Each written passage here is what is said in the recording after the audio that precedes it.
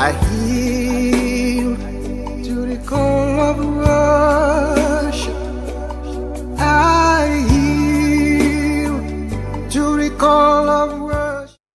Hi everyone, welcome to Kikkie TV. It's your girl Kiki Amber again. Welcome to episode 4 of Nourish Your Soul and Sharpen Your Voice.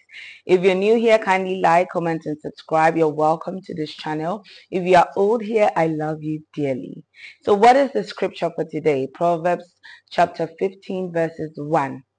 I would love to show you how the scripture relates in today's communication tip, which is knowing or working on your tone and pitch.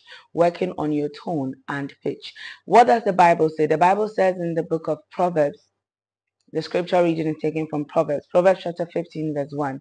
It says that a gentle answer deflects anger, but harsh words stir up wrath. A gentle answer deflects anger, but harsh words stir up wrath. What does it mean when someone says, work on your tone and work on your pitch? Working on your tone means that you need to work on how you you speak. You need to be intentional. You need to adjust yourself. You need to refine the way you communicate with others.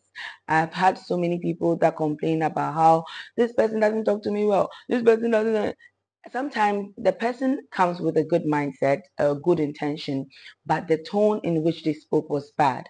Working on your tone and pitch, it helps you build stronger relationships with your friends, loved ones.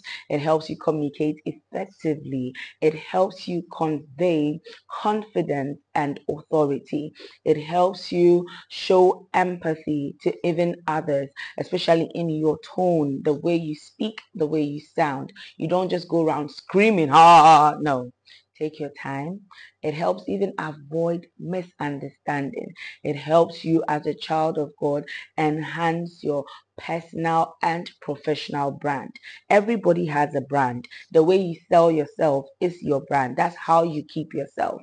So I want you to remember this, that your tone is powerful. It's a powerful aspect of your communication style. And when you are working on it, it can greatly impact how you communicate or talk to others and even how others respond to you. Some people go like, I'm in this work field, but the way my boss talks to me, I don't like it. It's because of your tone. So learn to work on it. What I want us to reflect on is that your tone and pitch always convey emotions and attitudes. So you have to be aware of your tone. Use gentle language. If you're angry, don't speak. Be calm. Use gentle language and also vary your pitch for emphasis. The tip of today is you can record yourself if you want that if you want to practice how to have a good tone and a good pitch record yourself practice mindfulness and ask for feedback.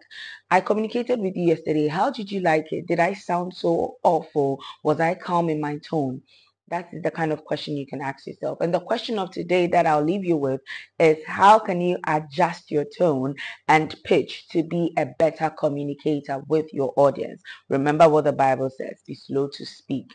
A soft answer will solve everything. Don't go around being angry with everyone. This is Nourish Your Soul, Sharpen Your Voice with Kiki Ambra. Thank you for staying. Shalom. I heal you.